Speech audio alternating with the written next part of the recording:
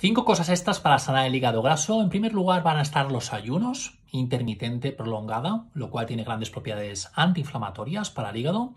En segundo lugar tenemos el ejercicio, mover más el cuerpo también en menopausia para sanar el hígado. Y después tres vitaminas importantes de los cuales generalmente hay deficiencia en menopausia. Tenemos en primer lugar la vitamina D, que es probablemente pues, el, mayor, el mayor poder antiinflamatorio en tu cuerpo. Generalmente vemos a la estupenda muy bajita de vitamina D, con unos niveles en torno a 20. Queremos que subas a 40, 50. Por ello, suplementación de vitamina D por sus propiedades antiinflamatorias va a ser muy importante para el hígado.